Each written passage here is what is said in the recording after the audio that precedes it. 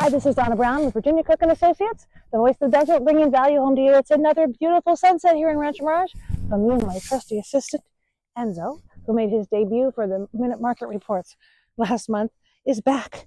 And we're going to talk about the Minute Market Report for Rancho Mirage, California. So here we go. There are 182 homes on the market and 19 are in escrow. Average days on the market are 68. Average price per square foot is 441.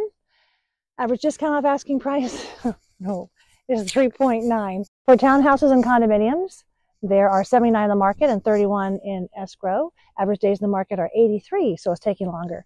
Average discount off asking price is 3% and average price per square foot is 366. Overall, the market in, in uh, Rancho Mirage, there's 3.7 months of inventory, so still uh, increasing in uh, inventory, but not above pre-pandemic. Pre-pandemic now might be a really great time to buy before the interest rates go down, hopefully, uh, while the because the competition is going to get greater. Although there might be some more inventory too. That remains to be seen.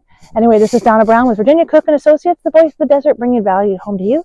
And we got little Enzo here. Say goodbye. Goodbye. Thanks for listening. Bye bye.